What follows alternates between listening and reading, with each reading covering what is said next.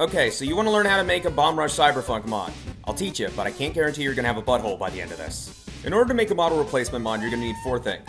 First thing you're to need is Blender. Get the latest version. There's nothing specific, just get the latest version. That's what I use. You're to need Unity. I use the 2021 March 27th build, so that's 2021 3.27. Technically, that's not the build this mod is built on. However, it is also the build that is used with the small blue method. So if you download this one, you can kill two birds with one stone if you want to try that method out too. You're to need to download all of this from Ikeiwa's GitHub, link in the description. And technically, while this last download is optional, I highly recommend it. I made a link to my Google Drive that has both the Ikeiwa mod DLL already built, as well as a blend file that has a skeleton that is built for Bomb Rush Cyberfunk. This is the exact same one I used on the MF Doom model, I just took everything that was MF Doom out of it. Alright, first things first, we're gonna need a model replace. I'm just gonna go to Models Resource and uh, I'm gonna download this. It was on the front page, I thought it was funny. We're importing the Aquafresh guy. I'm also doing this to prove that you can do this with pretty much any model. I've never seen this model before in my life, and by the end of this video, it will be in Bomb Rush Cyberfunk. Alternatively, if you're making your own custom model, I'd recommend using my custom skeleton, it's right there. Seriously, it's a free resource, go for it. If you're importing a model, what you need to know is there are three formats that can carry a skeleton. Those are FBX, DAE, and .3ds. If you have a .3ds file, there's not even an add-on for that for Blender anymore. Just go find a converter and put it into FBX. No, OBJs do not carry a skeleton, don't ask. There are other formats that carry skeletons like .xps or .pmx, but if you know what those are, you probably didn't need me to explain what a .dae or FBX was. And if you have one of those models and you don't know how to import it, Google's your friend, I'm not teaching you. Right, cool, by this point you should have your model in Blender, say hello to it, wave to it, say hello!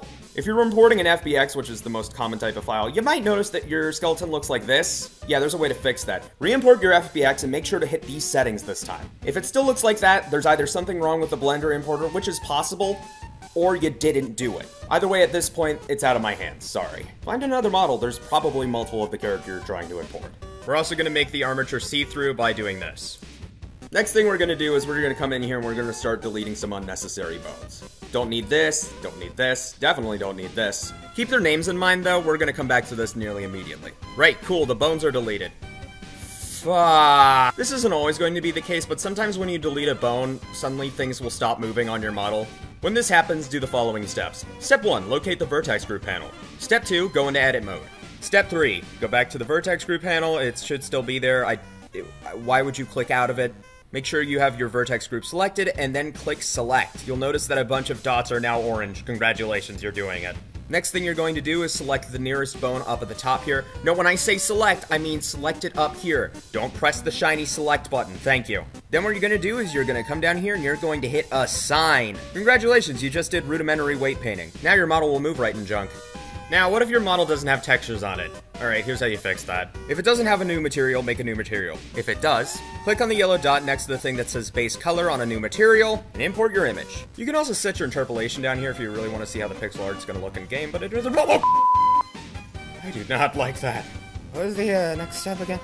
Oh, right. If your model has multiple materials, you'll need to use the material combiner. It's an add-on. Go find it. I do all my texture combining manually, so I can't help you here. I'm sure there's plenty of good tutorials, though. Bone renaming. So for any of this to work, you need to have six bones that are specifically named on your model. These bones will technically already exist, but they need to be the exact same names.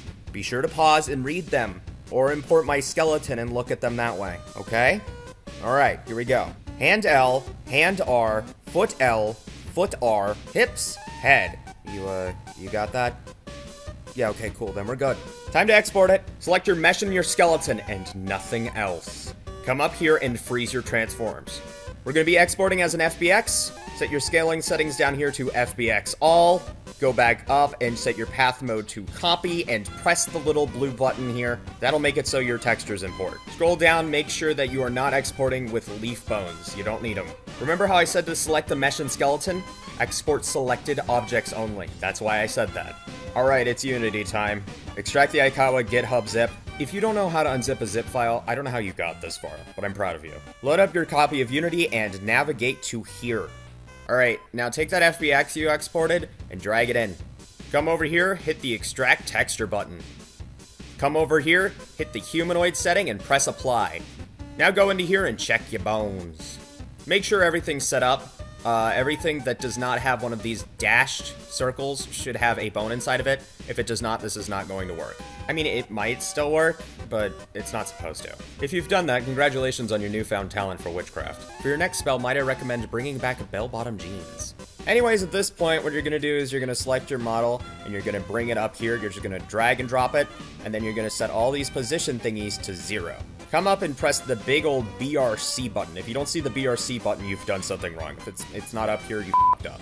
Navigate to the character that you have just put in the world. Or you can just drag it from the outline, but I, I navigate. That's what I do in this video. I'm not going to go re-record footage. Press the button, Eh, voila. Alright, so, I'm cutting in here live because I need this to be jarring because this is not a step you're going to have to worry about in the future. If the mod has been officially released or there's something in the description, go check right now. You don't have to worry about this step anymore. If you don't have to worry about this step anymore, here's the timestamp, skip this. If you do, hi, welcome to this live version of this part of the tutorial. Unfortunately, this is live, so it's not scripted, so uh, I'm sorry in advance. So let's say your model's been imported and he's looking like this. Yeah, I feel that too. This means that your mod's gonna look like this in. And we don't want that. So here's how we're gonna fix it. First thing we're gonna do is rotate our armature and only our armature, negative 9. Then we're going to hit apply transforms. Now, we're gonna come back and we're gonna put it up 90 degrees. And we're not gonna apply transforms this time. Why does this fix it? I don't know. I'm just doing you, I'm just telling you what I've been told, doing you a solid you're pretty much home free at this point. What you're going to do is you're going to align the spray can, you're going to align the phone. You want to make sure that the phone is facing outwards because how do you hold your phone? Think about it that way. Then you're going to align your inline skates. You can actually just align one and then come over here, right click, do copy component and then paste component. You'll get it pretty close for the other skate when you paste it on. Then you're going to come down to these four brand new circles here and you're going to plug in your textures. That's going to be a diffuse texture, that's the main color, and an emission texture if you want to make things glow. Alright, remember that file I told you to download earlier, the fourth step? The optional one? If you're not going to build your own version of the DLL, this is where you're going to need it. I'm to assume that you have BepInEx installed at this point. If you don't, how did you plan on installing this? If you don't, go download R2 Mod Manager and then install BepInEx through there for the Bomb Rush Cyberfunk. I'm not mad, I'm just disappointed. If you are just freshly installing it, you need to go into this area and you need to make a plugins folder. If not, you probably already have one. Put the folder in the plugins folder, run Bomb Rush Cyberfunk once modded. You just have to get to the title screen. Close it out, and you're ready to export. So click on your character. Oh, uh, don't forget to set which character you want this to go over, by the way. Forgot, forgot to mention that. Anyway, export your character to here.